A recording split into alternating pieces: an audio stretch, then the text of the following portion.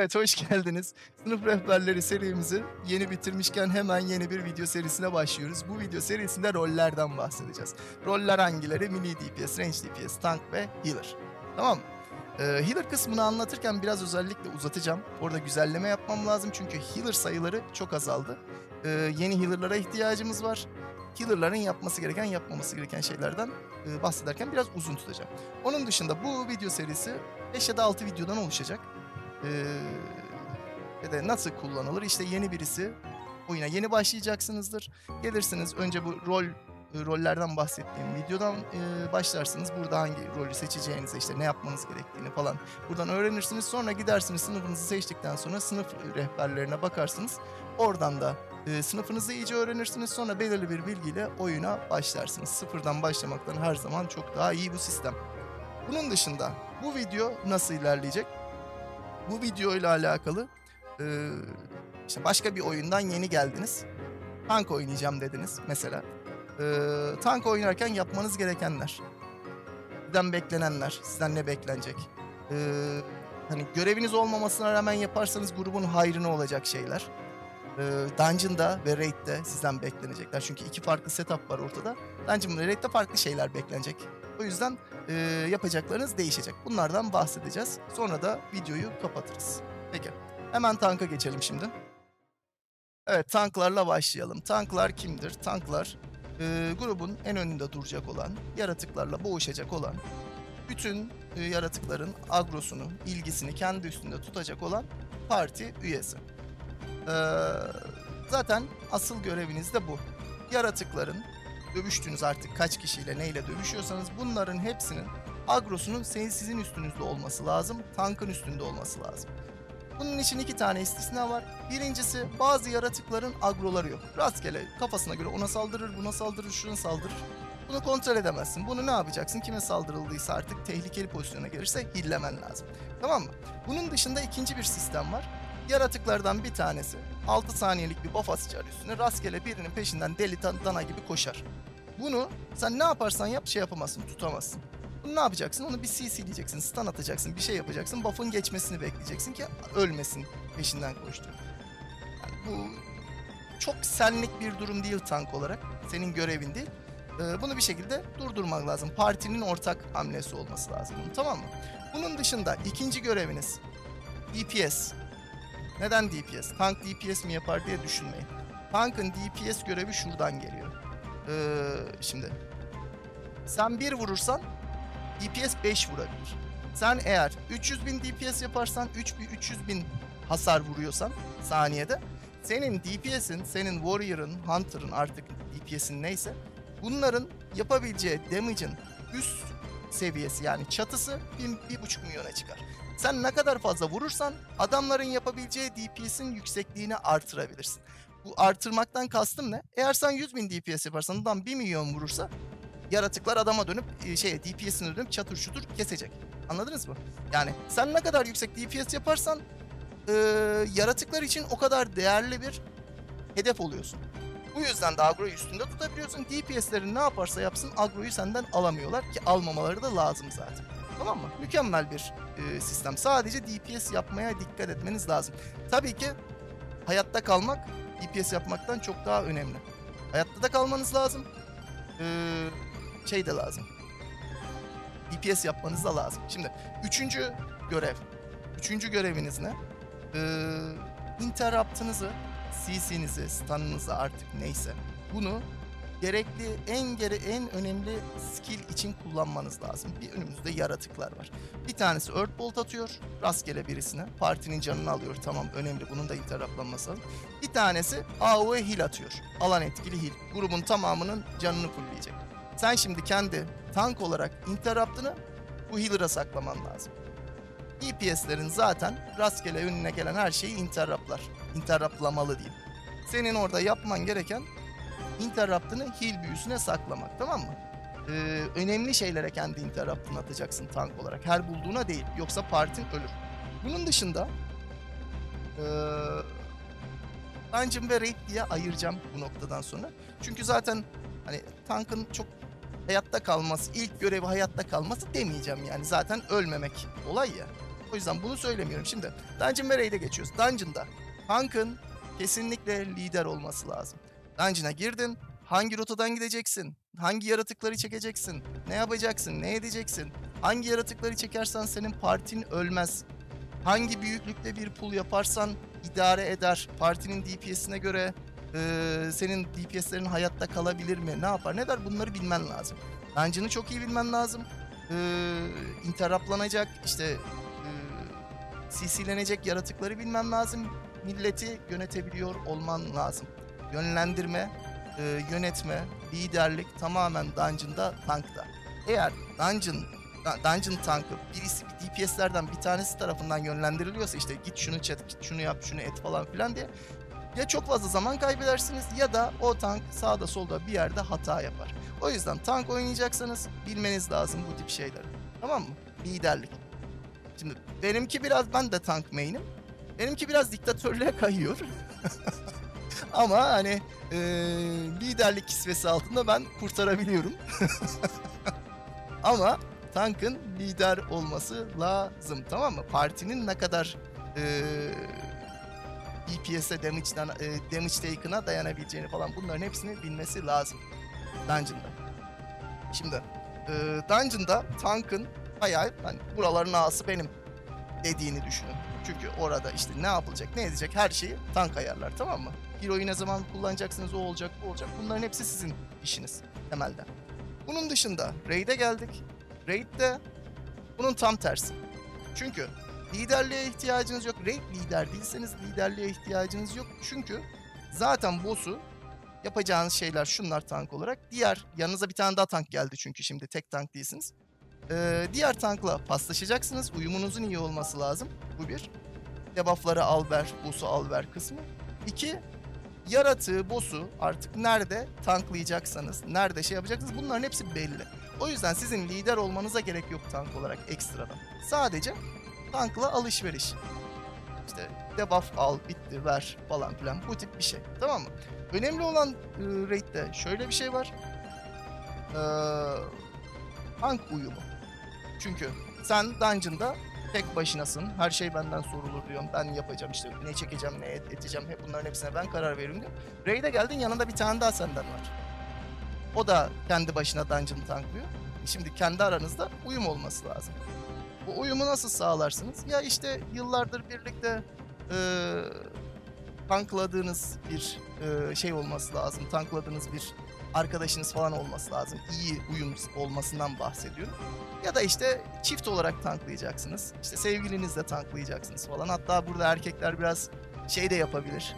Eee işte ben tutarım sen ne zaman rahatsan o zaman benden al falan filan diye böyle ufak tatlılıklar falan da yapabilir. Eee, ama aradaki uyum önemli. Ne kadar fazla uyum o kadar rahat bir raid, o kadar güzel bir raid geçer. Eee, peki tanklıkla alakalı söyleyeceklerim bu kadar. Eee neyle? Mini DPS'te devam edelim. Evet, Melee DPS'te devam ediyoruz. Melee DPS zaten adı üstünde. Yakındasınız ve de göreviniz DPS yapmak. Birinci göreviniz bu. Ne kadar fazla DPS'iniz varsa, ne kadar kısa sürede yaratığı öldürürseniz, healer o kadar kısa süre heal atar etrafa. O baskı altında o kadar kısa süre kalır. Tank da o kadar kısa süre yaratıklardan darbe yer. Yani DPS grup için her şey. Grubun DPS'i ne kadar yüksekse fight o kadar kısa sürer. Ne kadar kısa sürerse o kadar az tehlike. Az can gidecek, daha az heal atılacak. Ee, daha kısa sürdüğü için tank da az damage yiyecek. Zaten hani direkt olacağı için. Tehlikelerden o kadar hızlı kurtulmuş oluyorsunuz. Temel olayınız DPS tamam mı? DPS yapmak, yüksek DPS. Ee, ikinci işiniz interrupt. Melee DPS olarak interruptlar partide temel olarak sizden sorulur. Çünkü e, durdurmanız gereken bir cast bar yok, bir şey yok. Çat diye tuşa basacaksınız sadece. Interrupt atmayan melee DPS olmamalı. Melee e, DPS'ler interrupt atmak zorunda. Tamam mı? DPS birinci işiniz, interrupt ikinci işiniz. Parti geneli olarak CC'leriniz işte AOE stun, alan etkili stunlarınız, alan etkili fear'dır, odur, budur, şudur. Bunların hepsi parti genelinde paylaşılabilir. Ama interrupt Milli'nin işi. Bu böyle. Tamam mı? Onun dışında da hani küçük bir şey olabilir. Defansifleri kullanmak, hayatta kalmak. Bununla alakalı bir şey söylemiyorum. Çünkü 4 sınıfında zaten hayatta kalmak, 4 rolünde hayatta kalmak zaten yapması gereken bir şey. Bunu söylemiyorum. Ee, Raid'de Dungeon olarak ayrı ayrı yapalım. Dungeon'larda interruptlar çok fazla var. Farklı farklı yaratıklar, e, farklı farklı skill'ler atıyor. Milli'nin yapması gereken interruptlar daha fazla Dungeon'da ortaya çıkar. Raid'de zaten adam sayısı çok fazla olduğu için bir tanesi interrupt atar. Ama Dungeon'da interrupt sayısı çok fazla, adam sayısı toplamda az. Yani 5 kişisin toplam. Healer'ın da interrupt atabildiğini düşünsem. Ee, o yüzden Milli'nin Dungeon'da kesinlikle interrupt atması lazım. Milli'nin bir de şu şöyle bir ekstradan DPS ile alakalı e, görevi değil de işi olabilir. Cooldown'larını sürekli kullanması lazım. Mesela tankta bazı yerlerde defansif cooldown'ları tutabilirsin hayatta kalmak için, saklamak için duruma göre. DPS'in cooldown'ların ne kadar saklanırsa cooldown geldiğinde basmazsan DPS'in toplamda düşer. Olabildiğince gelir gelmez basman lazım. Ee, DPS, melee DPS olarak cooldown'larını tamam mı? Ee, defans önemli. Bir de bunun yanına hani yapsanız daha iyi olur dediğim mesela Paladins'in, Retribution Paladins'in etrafa yardım etmen senin yapman gereken bir şey. Çünkü öyle bir utility'in var, öyle bir destek skill'in var. Bunları kullansan çok iyi olur. Ee, hani normal olarak yapma, yapsan iyi olur diyorum da ben mesela kendi grubuma bunu yapmayan bir paladinle oynamak istemem. Etrafa destek versin bir zahmet. Bir ton skill'i var onları kullanması lazım bence. Ama genel olarak yani paladinlerin zaten büyük çoğunluğu Free Warrior oynuyormuş gibi oynuyor kendi e, sınıflarını. O yüzden yani şey demiyorum ama benim yanımda oynayanlara bunu söylerim. Ee, Raid'de melee DPS olarak melee DPS olarak ee, şöyle bir sıkıntı var. Ne kadar fazla melee DPS sayısı artarsa boss'un çevresindeki o kadar fazla alan kontrolünüz azalıyor. O yüzden Raid'de genelde range DPS olması melee DPS olmasına bağlı olarak daha az. Mini DPS sayısı her zaman daha az olmalı. Neden? Ra- Raid'i rahatlatıyorsun. Range'ler istedikleri gibi alana yayılıyor. Milliler boss'un e, hemen arkasında toplanmak zorunda. Bu yüzden sıkıntı. Millilerin e, sayısını az tutmak Raid'de daha mantıklı bu yüzden. Onun dışında Raid'de e, Raid'le Dungeon arasında doğru düzgün bir fark yok. Interruptlardan sorumlu değilsin sen. Yapsan iyi olur. Ama zaten kaç tane interrupt olacak ki Raid'de? Ee, Dungeon gibi değil.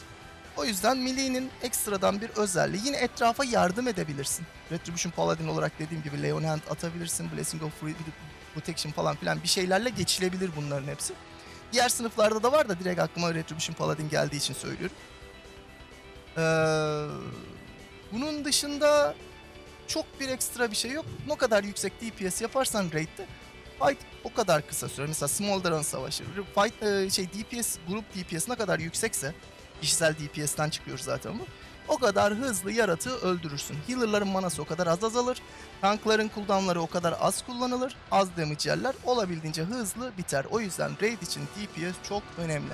Ne kadar yüksek yaparsan o kadar iyi. Zaten genelde oyuncular da dungeon'dan fazla raid'i severler. Çünkü hani at gözlüğünü takıp sadece DPS yapabiliyorsun. Çoğu fight'ta. Bunda da mesela. Rahat rahat DPS yapabileceğim bir şey. Bunun dışında Melee'de bir DPS olarak ekstradan yapman gereken bir şey yok. Sadece ee, yani body pull yapmayacaksın. Dungeon'dasın. Tank şuraları çekti. Dur ben de ekstradan bir tane çekeyim deme mesela. Çünkü sistemi bozuyorsun. Tank kendi kafasında bir sistem gibi. Aynısı Raid'de ee, böyle bir yapabileceğim bir şey yok zaten. Ekstradan grup halinde öldüreceğiniz için çok bir şey yok. Ama Dungeon'da böyle bir şeyin var. Ekstra pull yapma. Tank neyi çekiyorsa çeksin. Çünkü ön başta tank çekmeli bunu. Pull'ları tankın yapması lazım. Hangi yaratıkla dövüşüleceğine falan o karar verecek. O yüzden senin görevin değil. Sen önüne ne konulursa onu yiyeceksin. Tamam mı? Mini DPS olarak. Peki. Bu da bitti. Range DPS'e geçiyoruz. Evet. Range DPS'e geldik. Range DPS'te Milli'nin aynısı. Sadece uzaktan yapıyorsun. Ee, asıl görevin yine DPS yapmak. Milli'de söylediklerimin aynısını burada da söyleyemeyeceğim. Ee, ne kadar hızlı, e, ne kadar yüksek DPS yaparsan fight o kadar çabuk biter. Herkes o kadar az şeyle uğraşmak zorunda kalır. O yüzden DPS'ini yüksek tutabileceksin olabildiğince. Onun dışında interrupt yine senin işin. Destek vermen lazım. Ama e, kes zamanında, kestin esnasında bozduğu için Millie'nin interrupt yapması değil, Range'in e, interrupt yapmasından çok çok daha basit. O yüzden Millie'nin önceliği var interrupt konusunda. Senin çünkü zaten e, range DPS'lerin interruptları da uzun olur. Millie'ninki 12 saniye 15 saniye, range'lerinki şaman değilsen e, 24 saniyeden falan başlıyor. Uzun yani. O yüzden hani interruptlar olabildiğince yardım etmeleri lazım yine bir şey demiyorum. Ama melee ile aynı değil. Melee dediğin interrupt yapacak. Range yardım edecek daha fazla. Tamam mı? Ee, CC'ler falan parti ol- parti şey yine parti e, toplamında işte nasıl yapılıyorsa ona göre destek verilecek. Onunla alakalı bir görev gibisinden bir şey düşünmeyin. Ee, utility'ler önemli. Shadow Priest'in işte Vampiric Embrace açıp etrafı vurduğun belirli bir seviye hillemek, e, mass dispel atmak, onu yapmak, bunu yapmak. Böyle destek e, skill'lerinde kullanılması lazım. Görevin değil ama yaparsan çok iyi olur e, diye adlandırabiliriz bunu.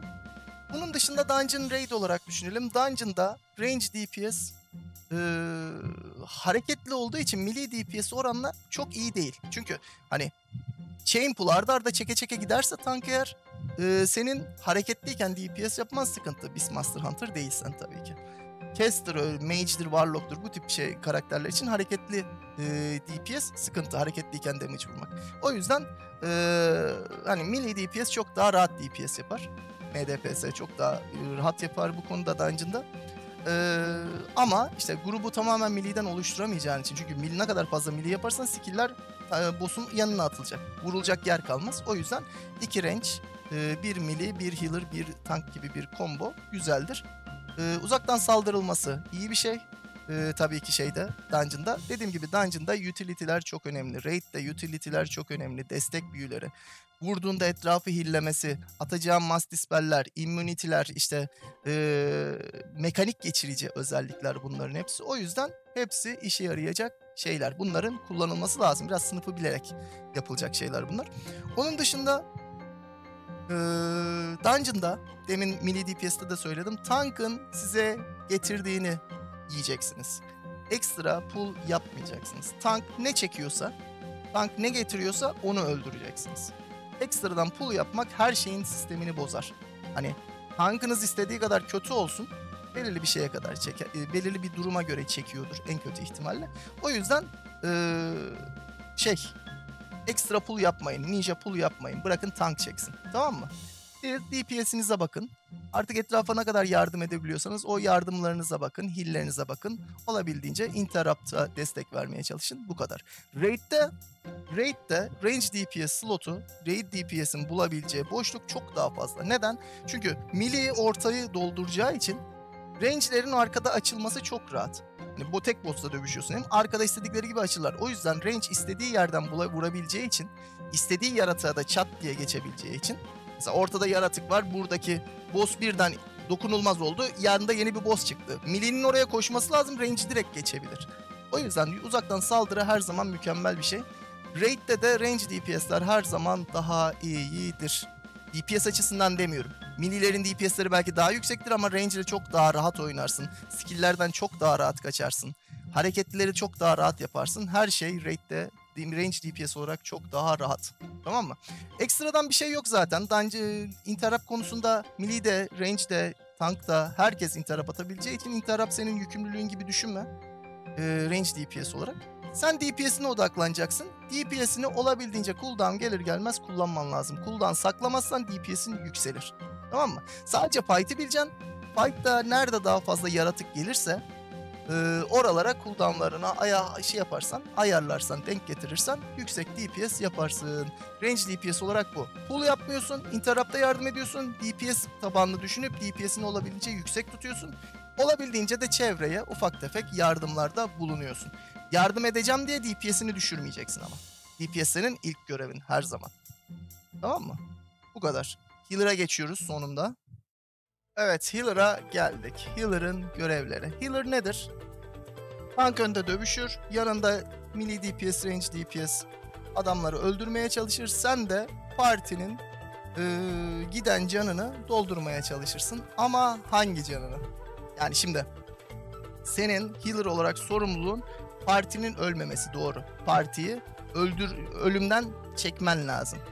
Ama hangisini? Şimdi mini DPS ya da range DPS'ten bir tanesi şu kırmızı alanın içinde özellikle beklerse, oradan %90 can kaybederse sen Allah adam ölüyor diye onun üstüne çökmene gerek yok. Çünkü kendi hatası. Tamam öldürmemek daha iyi ama o senin sorumluluğun değil. O ikinci işin olabilir. Daha fazla belirli bir standartta şey yapmalan. Yani kaçılabilecek damage'lerden, e, şeyler, hasarlardan e, darbe alırsa millet bu senin hatan değil. Healer olarak bunu anlamanız lazım. Partinin ölmesi healer'ın hatası değildir her zaman. Bak healer'ın hatası olduğu zamanlar var. Saçma sapan adam e, canım %50'deyken bana heal atmıyor. Kaçılamayacak bir damage geliyor bana. Kaçamıyorum, ölüyorum. Böyle şeyler healer hatası. Ama her ölüm healer'ın hatası değildir. Her ölümde healer suçlanmaz. Healer e, heallenebilecek darbeleri hiller. Mesela şey çok fazla görmüşsünüzdür. Dungeon'dasın. Adamın bir tanesi tek yiyor. Healer beni niye hillemedin diyor. Lan nasıl hilleyecek seni? Hilleyecek zaman mı var? Tek yiyorsun. Ya giysin kötü ya defansif basmamışsın. Hani şimdi sana 1 milyon canın var 900 bin darbe yiyeceksin. Sen bu böyle büyük bir darbe yiyorsan defansif kullanman lazım. O defansifi kullanmazsan healer seni nasıl kurtarsın? Ya kurtarabilecek ol kurtarabilecekken kurtarmasa bile senin hatan hala. Tamamen DPS ile alakalı. Healer oynarken bunlara dikkat edebilirsiniz. Üstüne ben kendim healer çok fazla oynamam ama oynadığımda size bir taktik vereyim. Böyle bir şey yapıyorum ben. Birisi car car car konuşuyor mu sen nasıl healer'sın şöyle böyle. Hillemeyi kesiyorum. Dungeon'ın akıbeti güzel olmuyor ama yani adam belli ki bilgisiz. Zaten belli bir hani orada olmasa bir dahakinde wipe yiyeceğiz. Bir şey olacak. Hani o adamla dungeon yapılmayacak. O adamı hillemeyi kes kendi başına hayatta kalsın. Hil atma. Bak bazılarında da şöyle oluyor. Hil atmıyorsun ya. Hil atmadığında Allah diyor. Healer beni hillemeyi kesti. Defansifleri kullanmaya başlayayım bari. Bakıyorsun adam defansif kullanmaya başlıyor. O akıllandıysa hile devam et. Biraz e, şey olarak healer olarak öğretmen edasında olman lazım. Sen yaramazlık mı yaptın? Heal yok sana falan. Bu şekilde. tamam. İlk göreviniz heal. Tamam mı? İkinci göreviniz dispel. Çünkü Magic Dispel oyunda bir iki durum hariç Warlock'un peti artı Priest, Mass Dispel. Bu iki durum hariç e, Magic Dispel oyunda healer'lar dışında yok. Healer'ların hepsi otomatik olarak Dispel kullanabilir. Zaten oyundaki healer e, mekaniği de her zaman Dispel üstündendir. Ya birisinin canı az gelir onu heallersin birden yükseltirsin ya da e, tankın üstüne bir dispellenecek skill vardır onu dispellersin. İşte %200 fazla yiyordur onu tank olarak dispellemen, e, healer olarak dispellemen lazım tamam mı? Bunlar bu şekilde. İkinci göreviniz dispel. Birinci göreviniz heal ama kontrollü heal. Kimi heal'leyeceğinizi seçmeniz lazım. Ona göre heal'leyeceksiniz. Hani Allah adamlar ölüyor diye telaş yaparsanız her şey batar. Kontrollü olarak kimin canı doğru düzgün gittiyse onu heal'leyeceksin. Tabi bunun içinde biraz oyun bilgisi lazım, biraz dungeon bilgisi lazım. Ee, ona göre heal'leyeceksin. Şimdi bu bu şekilde. Ee, destek olarak ne var? Interrupt bir kere sizin işiniz değil. Interrupt'ı canın isterse atacaksın. Healer olarak destek vermek istiyor musun? Interrupt at. Şöyle bir şey var. Ee, o interrupt'ı atmazsan yine sen uğraşacaksın. Çünkü yani grupla dövüşüyorsun. Adam orada Earthbolt diye bir skill atıyor. O Earthbolt'u interruptlamazsan, kimse de interruptlamazsa senin parti üyelerinden birine gidecek. E adamın bundan kaçışı da yok. Interruptlamadığı için yiyecek. Sen yine hilleyeceksin onu. O yüzden kendin seçeceksin. Yetin hilleyim mi? O interrupt atmayayım o damage'i alsın ben de onu hillerim diye mi düş diyeceksin. Yoksa dur interruptlayayım da boş boşuna hill atmayayım mı diyeceksin. Bu. Tamam mı? Bunlardan biri. DPS yapmak sizin göreviniz değil. DPS'i isterseniz yaparsınız. Şimdi DPS World of Warcraft'ın temeli. Ne kadar yüksek DPS o kadar iyi. Ben de DPS yapan healer tercih ederim. Biz de ucu ucuna hayatta tutsun ama yüksek DPS yapsın benim de tercihim. Tamam mı? Ee, ama bunu böyle oynamak zorunda değilsin. Sen tercihen şey yaparsın. Ee, herkesi full tutmayı seviyorsundur. Herkes full olduktan sonra iki tane şamansındır. Lightning bolt atıyorsundur. Tamam mı? Arada küçük DPS'ler. Çok yüksek olmasına gerek yok. Boş boş durma yeter. Yani heal attın, olduğun yerde böyle bekleme hadi birisinin canı gitsin de can vereyim diye. İşte lightning bolt at. İşte lava burst at. Bir şey at. Onu yapabilmen lazım. Boş boş durmayacaksın. Hazırlık yapma evresi falan ayrı. Onlardan bahsetmiyorum tamam mı? Ee, onun dışında Ne var başka healer olarak? Zaten CC'ler, AOE, e, alan etkili CC'ler falan onlar grubun kendi arasında ayarlayacağı şeyler. Defansifleri herkesin kullanması lazım. Healer için önemli. Bunlar da basma, hayatta kalma falan filandan bahsetmeyeceğim. Ee, dediğim gibi bakın tekrar da Dungeon'dan Dungeon Raid diye yapalım en son bir tekrar üstünden geçeriz. Şimdi ee, Dungeon'da siz tek başınasınız. Üstünüzde spotlight var. Herhangi bir şekilde hata yaparsanız direkt belli olur. Tamam mı? O yüzden dungeon heal'lemek healer açısından zor bir şey. Herkesi doğru düzgün e, bir heal'de tutman lazım. Bir can seviyesinde tutman lazım. Üstüne e, dispellerini kaçırmaman lazım. Mesela 3 tane dispel geldi önüne. 3 kişide dispellenecek bir şey var. Hangisini dispelleyeceğini seçmen lazım. Duruma göre. Üstüne bakın diğer e, şeylerde, diğer e, rollerde olmayan bir özellik. Senin healer olarak dövüş alanını bilmen lazım. Dövüş alanında kim nerede, tank nerede, hangi healer nerede, hangi DPS nerede, hangi range DPS nerede bunların yerlerini bilmen lazım. Bunları bileceksin ki birisine heal attığında kimden kime sekecek, ne kadar gidecek, ne olacak bunları bilmen lazım. Bunu bilirsen her şey çok daha rahatlıyor dungeon'da. Çünkü tek başınasın. Senin hatanı kapatacak bir başka bir healer yok. Tek başınasın. Hata yaptığında da direkt belli olacak. Tamam? Ölürsen de zaten dungeon gidiyor direkt. Yani tekrar denemen lazım boss savaşını. Healer ölürse genellikle öldürülemez. Boss'un e, tank hayatta kalsa bile tankın öldürmesi de 5 saat süreceği için healer'ın ölmesi DPS'lerin ölmesi anlamına geliyor. DPS'ler ölünce de boss gidiyor. Tekrar yapacaksınız. O yüzden healer'ın e, ölmemesi lazım. Hani hayatta kalması biraz saçma oldu ama diğer bütün sınıflardan çok daha önemli. Tank çünkü ölmüyor zaten. Sınıf diyorum rollerden çok daha önemli. Tank ölmüyor zaten bu aralar. O yüzden healer önemli. DPS ölürse kaldırırsın. DPS'in ölmesi de tabii ki o DPS check kısımlarını geçmek için ayrı bir şey ama healer da kendine bakman lazım. Healer'ların genellikle kendine heal atmadığı durumlar çok fazla. Başkasını kurtarıyor kendini kurtaracağına. Senin healer olarak ilk kurtarman gereken kişi kendinsin dungeon'da. Kendini kurtaracaksın. Tamam mı? Raid'e geçtik. Raid'de healer'lık çok eğlenceli. Üstüne bir sorumluluğun yok. Çünkü senden 3 tane 4 tane daha var. Ee, ortalama bir heal atsan bile kimsenin gözüne batmazsın. Neden? Çünkü senden başkaları var. Damage Matter'ın en tepesinde bir tane healer vardır iyi heal'leyen. Sen de ortalarda olsan zaten yetiyor. Kimse seni atmaz neden DPS yapmıyorsun diye.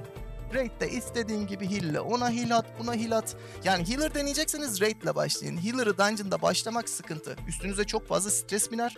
Çünkü e, tankınız kötüyse dağı taşı çeker, herkesi çeker. Sen hilleyeceğim diye e, terler içinde kalırsın. DPS'iniz kötüyse tank belirli bir çekil e, hillenebilecek bir grup çeker. Bu sefer DPS yenmeyecek bütün deep, e, şey damage'ları alır, bütün darbeleri alır. Sen hilleyeceğim diye bu sefer ter içinde kalırsın.